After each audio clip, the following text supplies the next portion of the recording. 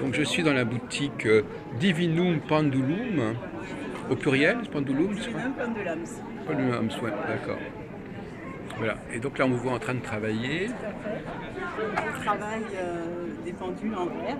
Vous appelez ça des pendules, mais Oui, est-ce que ce c'est... sont des pendules. Mais ce sont des pendentifs aussi, ce sont de- comme- les gens s'en servent comment? Comme pendules, en fait. C'est-à-dire dans une pro- une approche radiesthésique? Tout à fait. Donc ce sont des gens qui ont la pratique de- des pendules. Voilà, principalement, mais on peut aussi essayer euh, sans problème de, de les faire fonctionner. Vous voulez que je vous montre un petit peu Oui, bah fais, oui, mais c'est à vous de montrer, Alors, oui, moi, bien sûr. J'utilise mon pendule comme ça, je, je le laisse pendre, je le stabilise et je lui dis pendule, donne-moi le sens du oui, s'il te plaît. Et là, voilà, il commence à tourner dans le sens du oui. Je crois que vous avez un, bon dialogue avec les pendules, leur poser des tas de questions. Donne-moi le sens du non, s'il te plaît. Parce que ça, ça- parfois c'est le contraire. Voilà, Hmm, merci. Donne-moi le sens du peut-être. Le peut-être, ce sont des oscillations. Une fois qu'on a la convention euh, qui fonctionne bien, on peut se mettre à poser des questions. Ça peut être des questions du quotidien ou des questions un peu plus euh, pertinentes.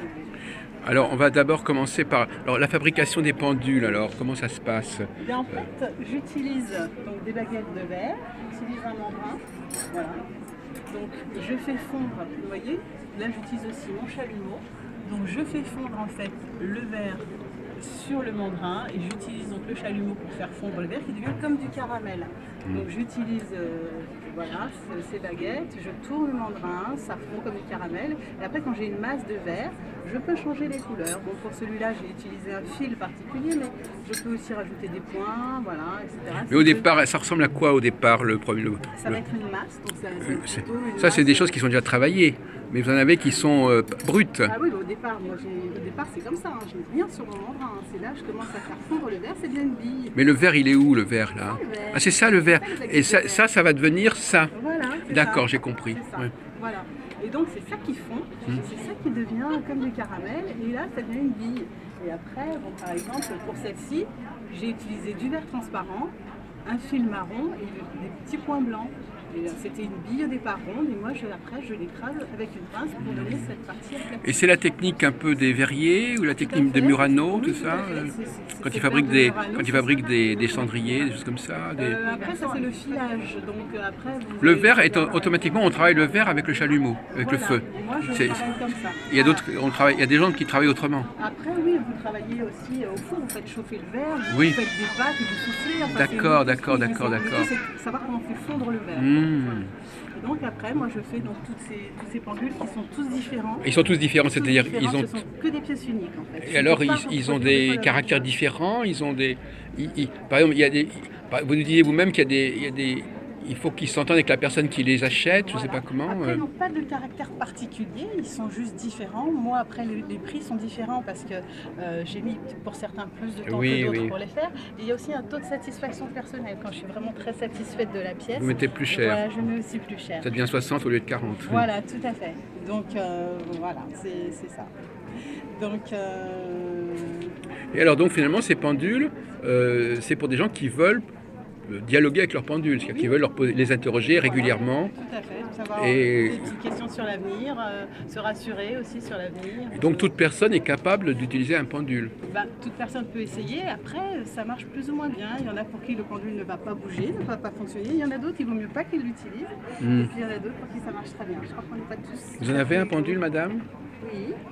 Euh, vous, en, vous en servez régulièrement? Non. Et euh, vous voulez parler avec euh, cette jeune femme ou pas spécialement? Non, mais je voulais ça. T'as, t'as, t'as pu préparer ou pas? Ouais. Mais je repasse tout à l'heure. Donc voilà. Voilà, voilà. Ben oui, je ne savais pas que le pendule était, une, une- euh, était un objet aussi, aussi répandu et aussi utilisé. euh. Il y a beaucoup de gens qui ont des pendules, qui se servent de pendules? Oui, beaucoup, ouais, ouais. Beaucoup. Déjà, tous les médiums quasiment ont leur pendule. Après, tous les gens. Donc ça, ces pendules-là, vous les vendez aussi aux gens qui ont, fait. aux, médiums. Voilà, c'est ça. euh, voilà, Pas spécialement aux personnes de passage. Aussi, mais aussi. Vous alimentez euh, tout le monde. Voilà. À la limite, c'est ça. Bon. Voilà. Alors donc vous étiez en train de montrer comment donc vous aviez commencé à interroger le pendule et euh, vous pouvez aussi vous-même servir du pendule pour quelqu'un d'autre. On n'est pas obligé de se servir du pendule Oui, pour je peux soi-même. Poser une question pour autrui, bien sûr. Vous de pouvez par exemple poser une question pour moi euh, parce que moi je suis pas sûr de, de savoir me servir d'un pendule. Vous choisissez ce pendule-là ou c'est moi qui dois choisir Non, Enfin, c'est mon pendule. Ah oui, voilà, donc c'est votre pendule m'a attitré.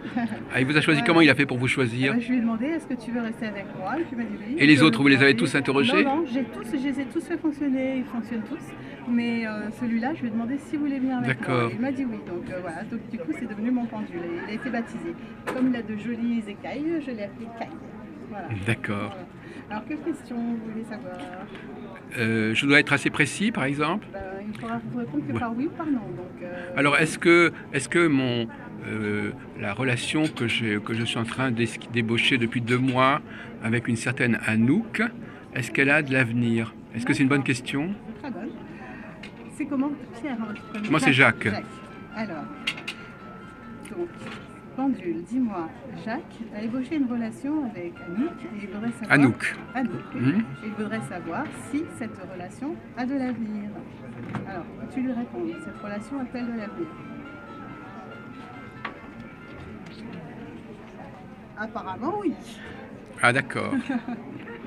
Voilà. Alors, est-ce, qu'on peut, est-ce que vous pouvez poser une question pour compléter? Je ne sais pas, comment Euh, vous faites? Ce sera la dernière parce qu'en fait, je ne suis pas médium. Non, mais je ne sais pas. Je veux dire, euh, est-ce que si on vous demande, euh, complé- si vous voulez vous assurer que vous avez bien compris, vous allez poser une question complémentaire Est-ce que par exemple vous les voyez ensemble dans un an, par exemple Allez, on va dire. Je sais pas, moi je je sais pas. Est-ce que tu les vois ensemble dans un an? Je me dis que oui. C'est une Bon. relation qui semble bien partie. D'accord. Bon, bah écoutez, c'est toujours agréable d'entendre. Enfin, c'est agréable.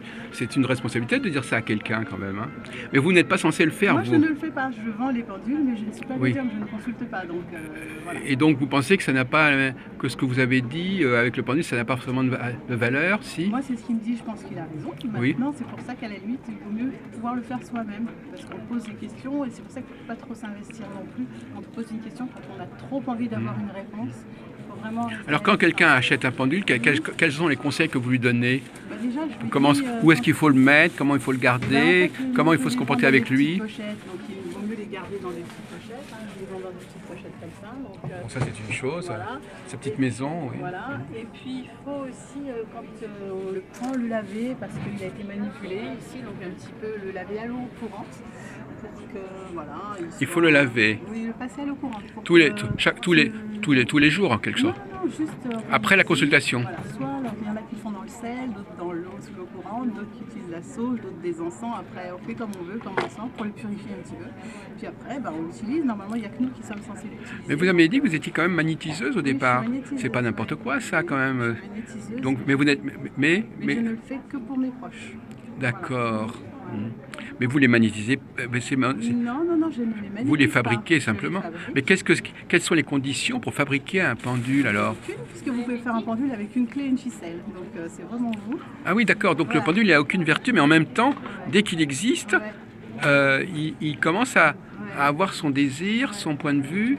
C'est parce ça que- qui est. voilà, il est immédiatement euh, euh, incorp- Enfin, il est, un- il est animé, il s'anime, il, euh, Voilà, il- oui, c'est ce ça qui- c'est ça que j'arrive pas à comprendre. C'est ce qui semblerait. hein. C'est ce C'est-à-dire que semblerait, dès que vous créez un objet, cet Voilà. objet, il commence à vivre. il- Voilà, il est devenu objet. C'est plus de la matière, c'est devenu un objet. Ah oui, Voilà. d'accord. C'est comme ça que je l'ai, analysé aussi.